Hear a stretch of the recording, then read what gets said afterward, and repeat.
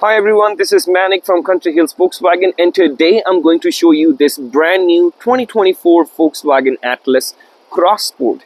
So this is a very nice vehicle that comes with a 2-liter turbocharged engine that is a 4-cylinder engine that gives you about 269 horsepower. And this one over here is a top-of-the-line edition known as the Execline with R-Line package.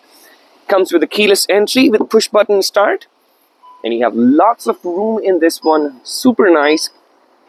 And check out the quilt pattern on the leather seats here. This is the premium leather seats that you get in the top of the line edition. Fully power seats. And you have the memory seats function too. Let's jump in. Okay. So we have a very nice digital cockpit over here. And you have heated steering wheel. And over here you have your wireless charging pad with two micro USB Type-C ports here. And that's your gear selector over here. And you can choose different drive modes from here. And you have Eco, Comfort, Sport, Custom. And you can customize your settings over here. Off-road and snow mode here too.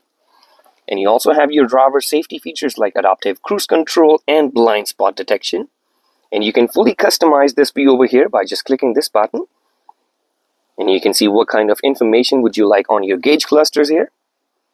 And you have an auto dimming rear view mirror too. So in the nighttime if somebody is using uh, high beams it is going to dim it down for you. And you also have heads up display and a very nice premium Harman Kardon audio system exclusive for this package here. And you have so much space down here for storage. And that's for your cup holders. Very nice leather padding over here and more storage space over here. And a very nice touchscreen infotainment system. This is a very big screen and you can see your climate controls over here. You have heated and ventilated seats at the front. Okay and you also get the 360 camera on this one. I'm just going to put it in reverse and show you here. Here you have it and you also have the parking sensors at the front and at the back and you also get the park assist feature in this one too. Let's jump at the back seat, see how much space we have. So this one over here is a very nice option if you want to have like a five seats SUV. Has up lots of power, lots of room over here. And you have heated seats at the back as well. And two charging ports and 115 volts adapter as well and you can completely fold these seats flat too. If you want more cargo space you just have to pull this latch and they're gonna fold flat for you. Let's check out the trunk space and check it out. You also have the manual shades too. Very nice. Okay and you also get the smart lift gate feature in this one.